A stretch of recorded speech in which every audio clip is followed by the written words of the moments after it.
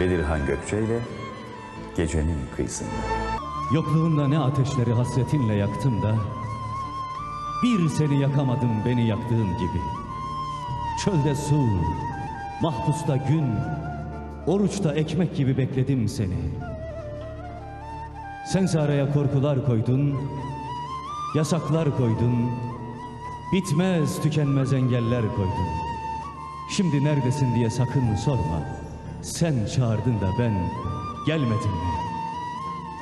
Sen varken darılmazdım çiçeksiz baharlara, yağmurlu havalara, bu kasvetli akşamlara. Sen varken bakıp içlenmezdim tren istasyonlarına, otobüs duraklarına. Gidenlere küsmezdim, kalanlara acımazdım, böyle delirmezdim, küfretmezdim, hele ölmeyi hiç düşünmezdim. Şimdi soruyorum sana, adı sevdaysa bu cehennemin, sen yaktın da ben yanmadım? Biliyorsun, bütün acılarına yeşil ışık yaktım, olmadı. Bütün korkularına arka çıktım, olmadı. Haziranda kar oldum, yağdım avuçlarına, olmadı. Sevdim, olmadı. Yandım, olmadı.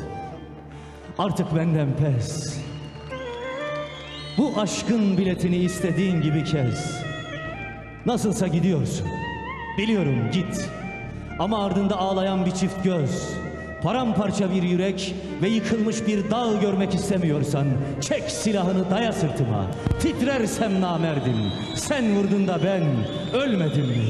Sen vurdun da ben ölmedim mi?